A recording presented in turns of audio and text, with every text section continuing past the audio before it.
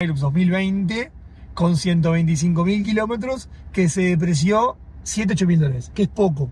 Claro, en para consideración, 125.000 kilómetros, Claro. tres años. Tres años es un uso normal, 125 mil kilómetros.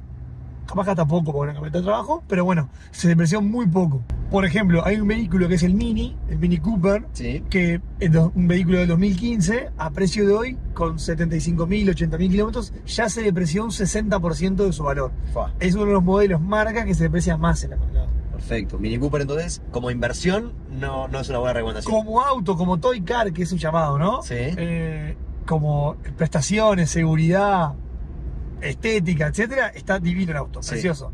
Se deprecia mucho en el mercado. Como Bien. inversión, capaz que era más afinada. Y alineado con esto nos preguntaban también por el tema de autos chinos. ¿Se deprecian más que un auto tradicional? ¿Cómo es la cosa con esos? Al principio, cuando vinieron los autos chinos al Uruguay, se depreciaron muy rápido. Sí.